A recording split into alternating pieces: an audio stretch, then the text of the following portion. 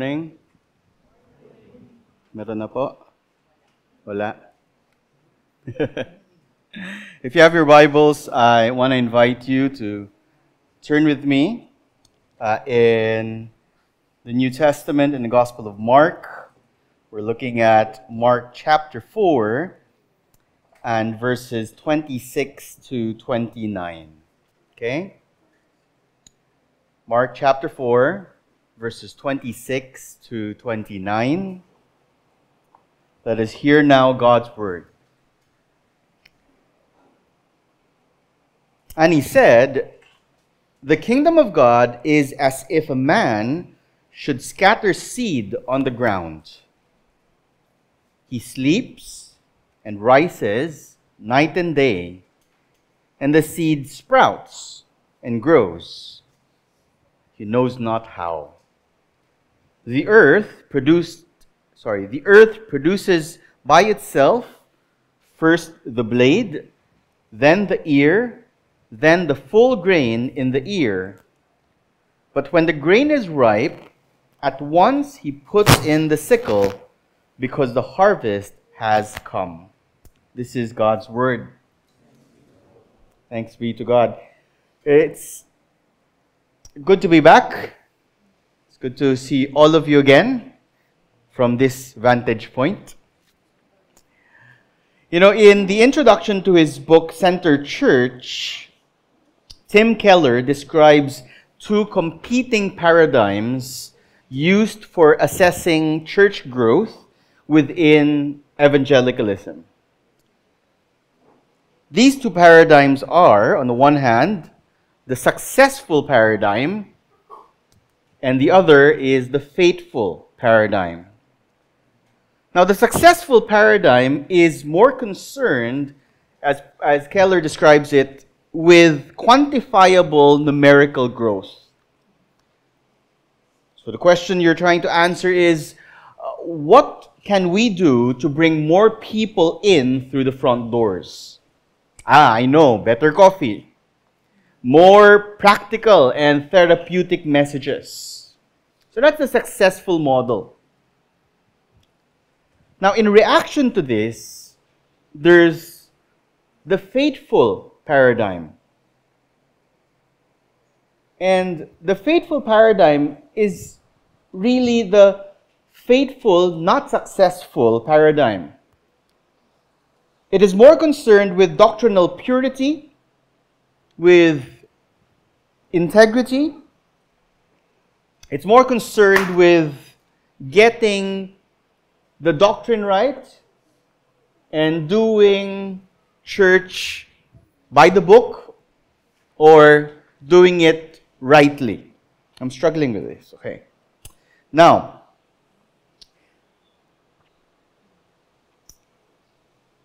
Keller, however, he says that such approaches, the faithful paradigm approach, often tends to fall into the danger of a thoughtless traditionalism.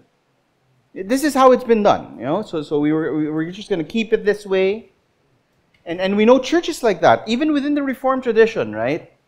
They do essentially the same things we do, but they're not growing. They're saying the same things we're saying, but it seems like they're just preaching to the choir. Now, we have a term for that. We call it dead orthodoxy or even dead orthopraxis, right? Because the practice is, is mere traditionalism. It exhibits a veneer of incompetent faithfulness. Now, Keller proceeds to offer a third paradigm for evaluating church growth. And this is fruitfulness. It is not enough that we should be faithful, no, not successful. Okay, so, so anything that, that the successful model is doing, we, we, don't, we don't need, we're not here for the numbers. We're here for, for, for faithfulness. We're going to do everything the right way, the way it's been done for hundreds of years. Now, Keller says, no, there's a third option, which is, he thinks, and I, be, I, I agree, the more biblical option. It's faith, fruitfulness. Biblically speaking, our faithful efforts must bear good fruit. This is the objective purpose of the church's mission fruitfulness, a full harvest of souls, the gathering and perfecting of saints, as our confession of faith puts it. Now, as we turn our attention this morning to our text, we must bear this in mind. This is the aim of church ministry that we bear much fruit. So, the more helpful paradigm for ministry is neither success at all costs, nor faithful, not successful. Instead, it must be fruitfulness. This realization brings with it both a challenge as well as a comfort. You see, this is the challenge. We need to be fruitful, but we are powerless to cause any real spiritual growth in ourselves, let alone in others. You see the challenge. As a church, we're supposed to bear much fruit. But as sinners, as humans, we have no power to bear fruit. But I said it's not just, it, it brings with it a challenge, but not just a challenge, but also a comfort. The comfort is that true spiritual growth, the kind of fruitfulness that the Bible expects and that we should desire,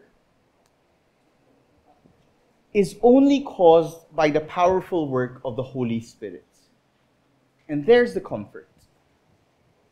God can and is pleased to grow his kingdom from seed to full harvest. This is what he's doing. And so this morning, the Word of God is teaching us that since God alone is growing his kingdom, that's his work our responsibility as Christians, drawing from the imagery of this parable, is to be faithful gardeners who prepare ourselves and prepare others for the harvest. I have three key points that I'd like us to consider this morning. Number one, we cannot grow. I'll use this instead.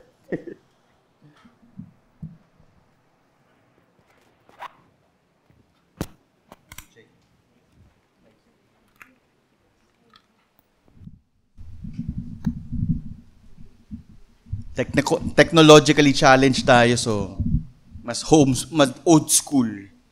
Ayan. it's, it's better for me. Um, so number one, we cannot grow fruits for the kingdom. Number two, we are called to be faithful gardeners. And number three, we must prepare everyone for the harvest.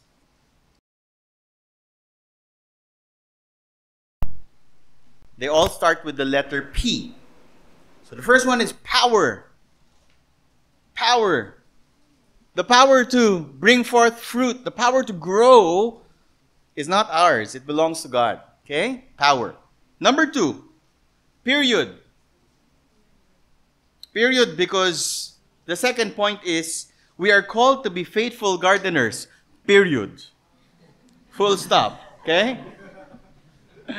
And number three, we must prepare everyone for the harvest. So the key word there is prepare.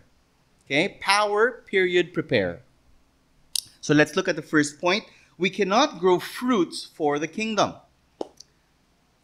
Now, friends, this parable, which Jesus, Jesus tells in the hearing of the crowds, describes the mysterious way that a seed sprouts and grows. The word, the word that's used there is automatically, by itself, automatically.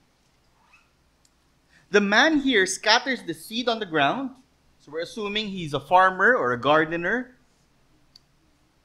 He sleeps and rises night and day, and with no special intervention on his part.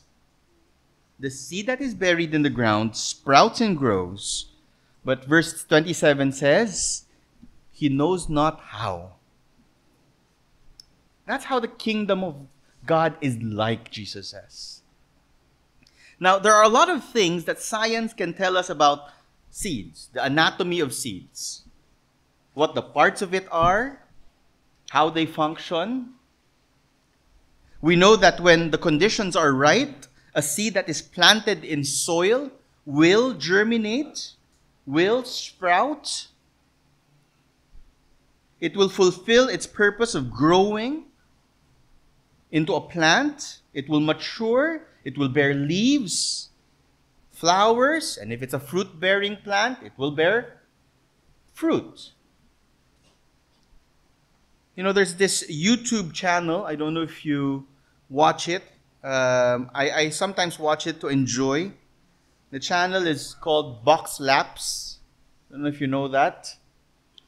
It features time lapse videos of different kinds of seed, you know, plants growing from seed to maturity. And it's a fascinating thing to observe because if you've ever tried to observe the growth of, you know, those of you who are plantitos and plantitas, you have your plants, have you ever tried to observe the growth of a succulent plant? Just stare at it for an hour. It's boring. Nothing's happening. Or at least it seems like nothing's happening. Now, Boxlapse is very interesting because they condense, you know, months of growth into eight minute videos. And so you're seeing the plant, you know, from seed, it's, it's, it's dancing around, it's growing, it's shooting leaves, until finally there's fruits. And all in eight minutes. I love it. I, you know, I, I watch videos in succession in my free time. You know, it's, it's wonderful. It's very relaxing. But in contrast, you look at, you know, plants growing in real time, it, it seems like nothing's happening. But a healthy, healthy plant, we know, is always growing. But how do we actually know? Well, you sleep, you wake up, you sleep, you wake up, you sleep, you wake up, and then suddenly you see in the garden, oh, look, there's more leaves. Oh, look, there's caterpillars eating those leaves. Um, and, and, and there's fruit right? But it happens over time, and you're not really doing anything special. I mean, very involved. Sure, you know, you might water the plants, you might clear the weeds, you might soften the soil, aerate it, you know, make sure that it gets enough sunlight. But really, you're not the one that's making it grow. It's growing on its own. And we don't know how it's happening. That's what Jesus is saying. the reality of organic growth can only be described but never really understood, let alone caused by humans. And just as it is with the physical growth of a plant, so it is with the spiritual growth of the kingdom of God. We do not have the power to bring about the miracle of growth. I think growth is a miracle. Life is a miracle. Because it's really nothing you cannot replicate it. You can observe it, you can describe it, but you cannot replicate life in a laboratory setting. True growth, whether physical or spiritual, can only be caused by God. Only God has life in Himself. Earlier, I heard the term as I was walking in. God is autotheos. God in and of himself. Life in himself. And therefore, only God can give and sustain life. If there is any true growth, it is from God. Only God can cause a dead sinner to be born again. Only God can change a sinner into a saint. And that's the comfort that we have as Christians who are tasked with preaching the gospel to the ends of the earth. This truth helps to define the kind of Christian ministry that we ought to have as a church. See, if we cannot bring about the spiritual realities of life and fruitfulness, of conversion, of sanctification and holiness, if we cannot bring this about, you know, through our machinations, through our schemes, if we can't bring it about, if we cannot even make ourselves more holy, then the pressure is off. If you think about it. See, the church growth movement, it's, it's actually a lot of external pressure because you have metrics that you're trying to meet. Oh, by, by, by this time next year, we need to have X number of people pray to receive Jesus Christ as their Lord and Savior. Uh, we need to have um, all of these seats filled up. We need to have um, X additional number of Bible study small groups and life groups. And it's all, you know, so how do we do that? How do we, how do we get to, you know, uh, okay, I know, I know, I know. Uh, people love food. We gotta have food, you know. We gotta have um, freebies. We gotta have aircon. Uh, we gotta have popcorn, right? So it becomes focused on how to lure people in, right? Now, all of these things I mentioned, nothing wrong with that. We're not going to get rid of the aircon, not in this heat.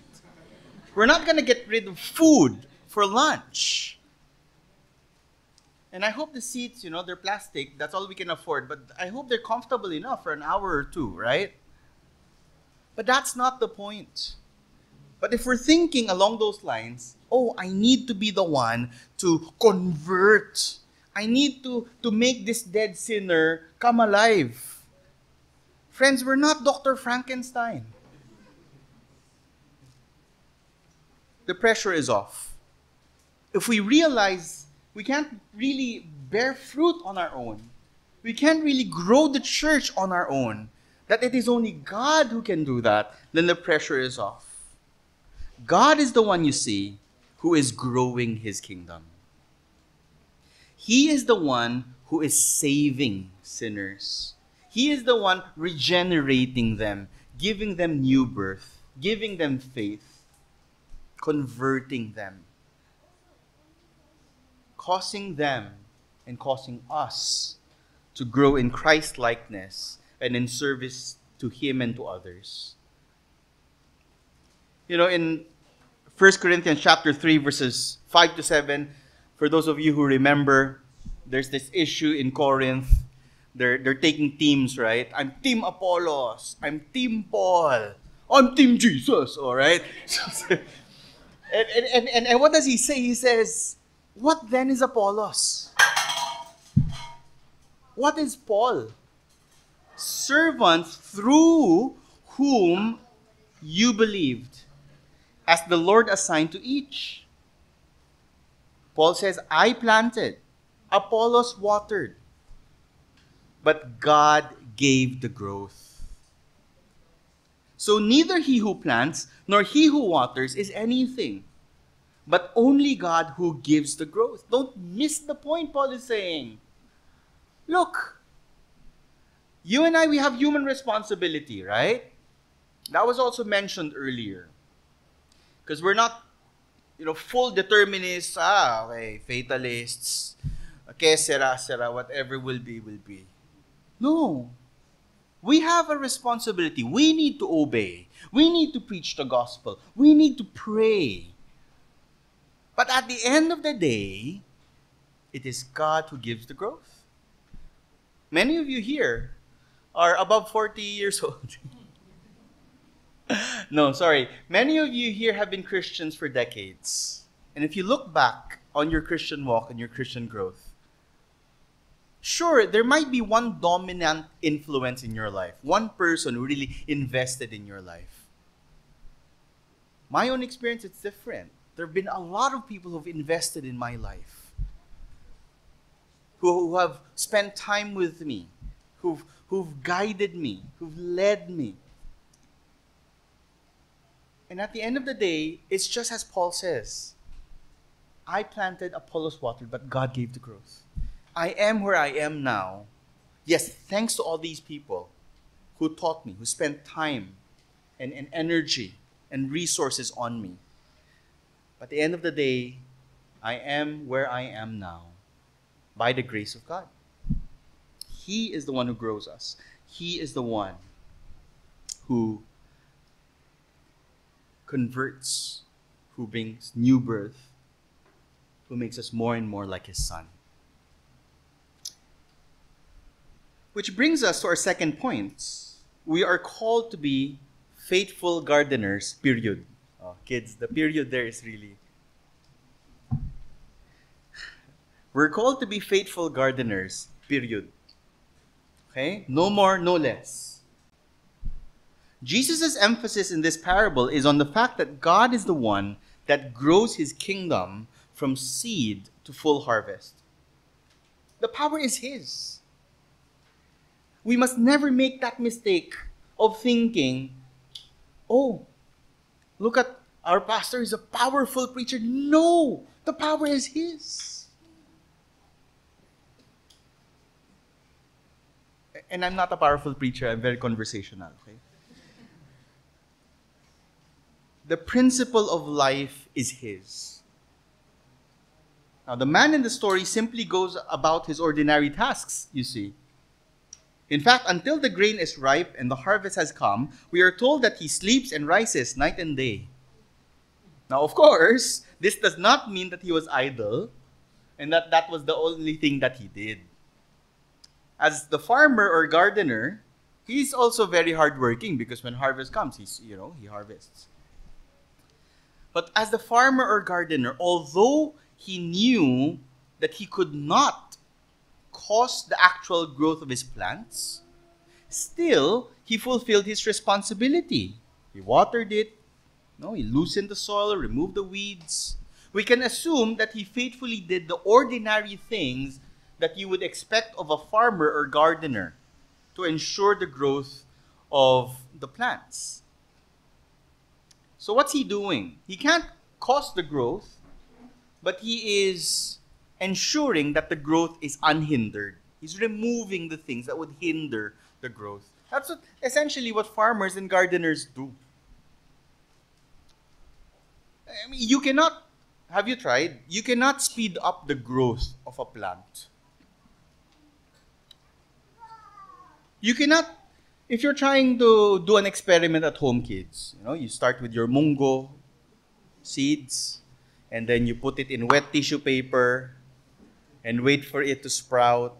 Next day, uy, there's a little tail that comes out, right?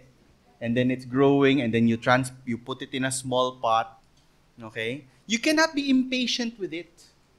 You cannot say to it, I want you to grow. I want you to.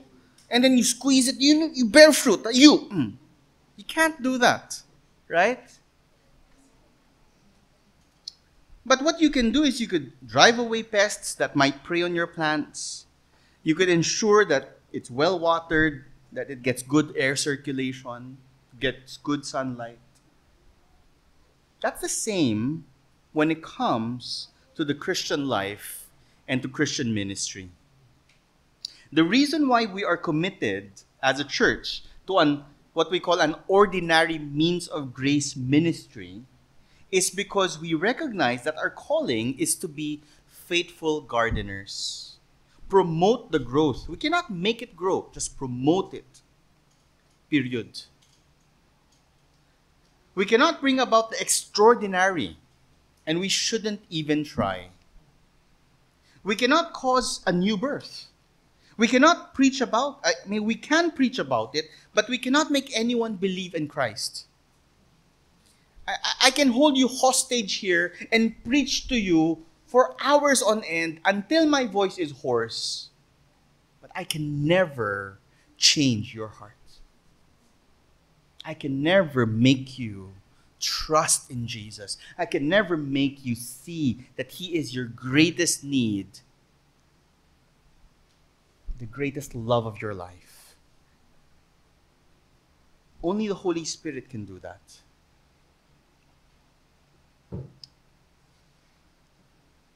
And so we must focus on the ordinary and leave the extraordinary to God. Ordinary means of grace. That's the means. We focus on that. But then the results, only God can do that. And the same is true, right, for the Christian life. Proverbs chapter 4, verse 18 states that the path of the righteous is like the light of dawn, the morning light, which shines brighter and brighter until full day. This is the trajectory, this is the direction of the Christian life. A healthy Christian will continue to grow in godliness and will continue to shine brighter and brighter until full day by God's grace. A healthy Christian will continue throughout his or her life to be renewed from one degree of glory to the next until Christ be formed in him or in her. Now, our experience tells us it's not a straight line. Right? Point A to point B. Christian life often is um, three steps forward, two steps back right? But the direction, the trajectory, it will keep going and going. And if you want it to be straighter and straighter, that line, what do you do? Well, you be a good gardener. You remove the things that will hinder growth. You promote the growth. As a church, God has given us the preaching of the word, the sacraments and prayer as ordinary and public means whereby we can pursue that end of growing the church, promoting its growth unhindered. So, what does it all mean for us? You might have already guessed I will say this. It means that as individual Christians, and as a church, we must make diligent use of these means, these means of grace. This means that we must be present on the Lord's day when Christ is pleased to summon us in order that he might bless us.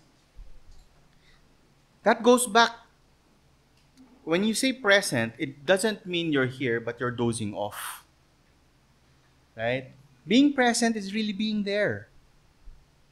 So it means if you need to sleep earlier, sleep earlier. Don't watch one more episode. Right? It means being present on the day that the Lord summons us so that He might bless us. Now, some of you perhaps are thinking, look, I come to church, I get Bible. I go home, I have Bible. Why come to church? Right? I can read on my own. I've been reading since grade 2. Right? Sure, you can read the Bible for yourself at home. And this also, to a lesser extent, could be described as a means of grace. God does use that to bless us, to grow us, to sanctify us. God indeed uses many different means to grow us in godliness and in holiness. However, can I say this to you? Reading the Bible for yourself at home during your or during your family worship or even when you are attending your weekly CDG to read the Bible together in a group that's not really what the Reformed tradition means when it speaks of the ordinary and public means of grace. Properly speaking, the ordinary means of grace are covenant assembly activities. They are activities that are done within the context of the gathered church.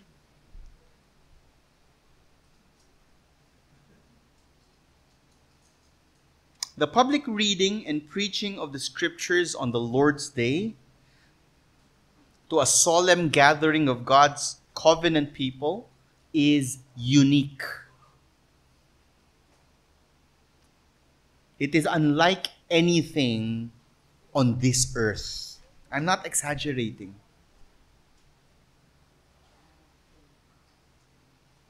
And this is what we must make diligent use of the joyful and believing participation in the sacraments of baptism and the Lord's Supper, these are ordinary means by which the Holy Spirit brings about our growth. The joining together of our hearts in prayer and communion is designed by God as a means to maintain our spiritual health and to promote our growth and fruitfulness. We must never forget there are seven days in a week.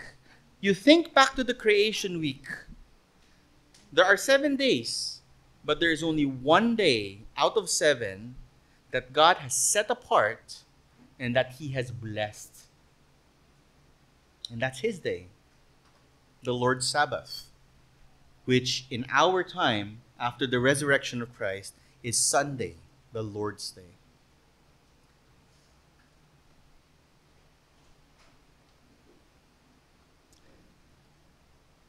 the way I like to think of it is you remember that hymn, we sing it sometimes, Come Thou Fount of Every Blessing.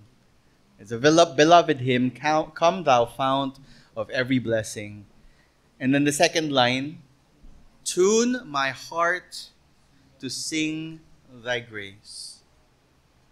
When you think about the Lord's Day, when the covenant community gathers in answer to to, to God's invitation and becomes a covenant assembly, we're really gathering so that the Holy Spirit, through His appointed means, might tune our hearts. I, am not a musically inclined person. I don't, I don't play any musical instruments, but I, I get the sense that that's what tuning is, right? It's it's it's getting it's getting the the tune right right? So that it's not out of tune. But why, why do you need to tune your instruments? Right? You come here on the Lord's Day. Those of you who are playing the piano. I sorry, not the piano. We don't tune that. The the guitar. You, you, you tune it, right? Because you know when it is subjected to use, it it it it, it loosens. You know the it, it gets off key. You know what? The Christian is the same. You're like an instrument. And you go you go you go to work, you know, you um, go to school, you interact with other people throughout the week. And you can also get off key and out of tune. And so when we come together on the Lord's Day, God has actually giving, given us tuning instruments. And they're called the ordinary means of grace. We come to the supper. We come and hear the word preached. We come and join our hearts together in prayer. The Holy Spirit is doing what? He is tuning our hearts to sing God's grace. Last point. We must prepare everyone for the harvest. Now, verse 29 describes the triumph, the victory of growth and of life. It's unstoppable. Life is life. It, it will keep on living. if it is unhindered. Look at verse 29. But when the grain is ripe, at once he puts in the sickle because the harvest has come. Brothers and sisters, the seed's objective is fulfilled at the harvest. The sprouting and growing, the production of blade then ear, then full grain in the ear, has all led to the aim of the whole gardening enterprise. The grain is now ripe, and the harvest has come. Now, spiritually speaking, this refers to the last day when the kingdom of God would have grown from seed to full harvest on the day that Jesus returns. What this tells us is that the harvest day is surely coming. You cannot stop it.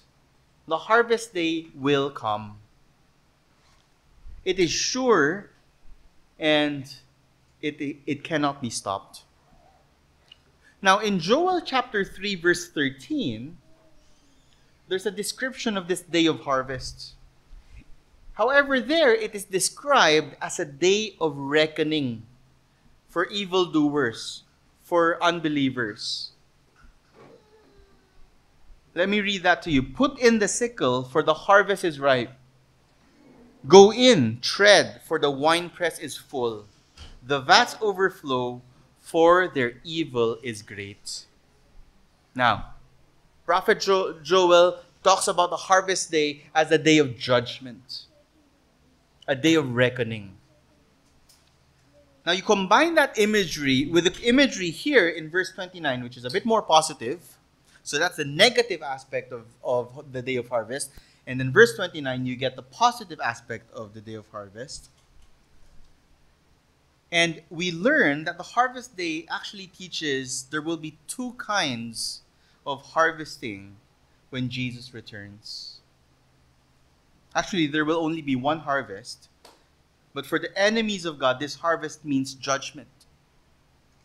While for believers, this harvest means welcome. The day of harvest is coming, it cannot be stopped.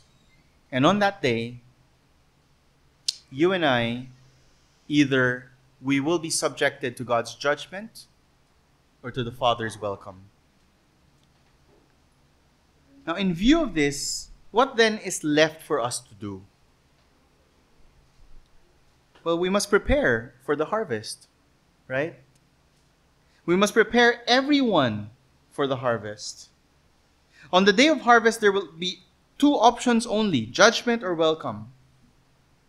And for those who are found in Christ, the day of harvest will be a day when the Father welcomes us fully into his kingdom, that we might enjoy our Master's rest. But for those who are outside of Christ, there will only be just judgment for sin.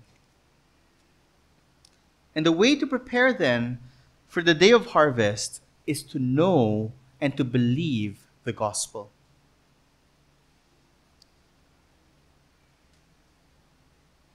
Brothers and sisters, the good news for all of us is this. Although we are powerless to cause life and salvation in ourselves or in anyone else, God is the one who saves. It's, it, it's a good news that God is the one who saves.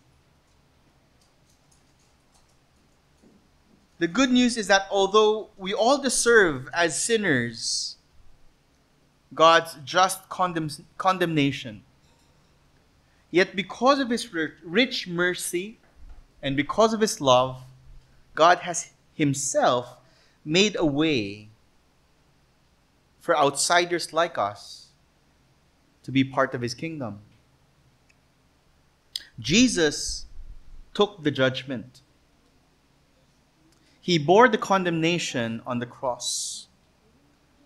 And this is the good news and the reason for his coming. The reason there is any comfort for believers on the day of harvest is because Jesus has already received in his own body the judgment that is due us because of our sins. On the cross, as it were, Jesus harvested in his own body the wrath of God that is coming for his people. Jesus died on the cross to pay for the sins of his people. He did this because this is the only way to ensure a full harvest of salvation for those he came to save. And so here is how we can prepare for the harvest, okay? If you're a Christian, if you're a believer, then you must examine yourself. Paul says, Test and see if you are in the faith. Do you really believe these things?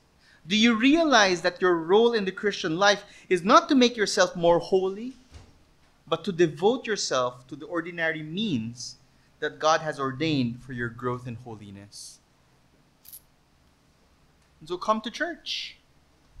Prepare yourself to sit under the preaching of God's word. Make diligent use of these means of grace. Participate in the sacraments by faith. Pray earnestly and heartily with and for your brothers and sisters here. Seek by God's grace to share the truth that the harvest is coming. Share this with your loved ones and your friends. If, however, you are not a believer, perhaps you're here because you are seeking answers. Answers to crises and confusions that bear down upon your life. Maybe you want growth. That's why you're here. You want to be a better person. You seek meaning and fulfillment. My friend, can I say to you, what you are seeking can only be found in Jesus Christ. The good news is that God alone can save you and forgive your sins.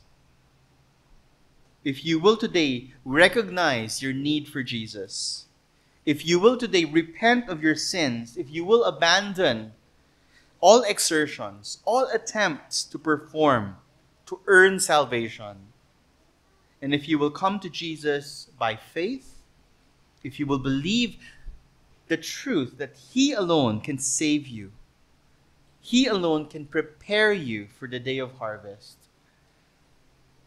If you believe that, today, this moment, He will save you. He will make you part of His family. He will forgive your sins. He will welcome you as His own. And on the day of harvest, two options, right? judgment or welcome? Because you have put your faith in Jesus, on the day of judgment, he will welcome you. And he will say to you, Well done, my good and faithful servant. Enter into your master's rest. So I urge you, if you've never made that decision before, today, if you hear the voice of Christ, do not harden your heart. Turn to Him. Repent and believe in Him because only He can do it. Let's pray. Our Father in heaven, we give you thanks for the great comfort we have in knowing that it is you who are growing your kingdom from seed to harvest. We are grateful for the privilege of joining you in this great task of preparing everyone for the day of harvest. And so we pray, help us to be faithful and bold in preaching the gospel to the unbelievers that you bring us into contact with, whether at home, at school, or in the workplace. Father, it is your will for us to grow into Christ likeness and fruitfulness. It is your will to grow us to be fruitful, to be more and more like Jesus. And so we pray that you will, by your Holy Spirit, enable us to make diligent use of the means of grace, to be present on the day that you summon us. Cause us to understand the unique privilege that we have in sitting under the preaching of your word, in participating in the sacraments that you have ordained for our nourishment. and in joining our hearts in the prayers of your faithful saints. We ask, O Lord, that you will help us to be faithful gardeners. Help us to seek to rid our lives of the sins that can hinder our loving communion with you. And prepare us always for the day of your harvest. Dear Lord, we pray that we may be found faithful on that day because you, our Redeemer, our Master, and our God, are faithful. And we pray these things in Jesus' name. Amen.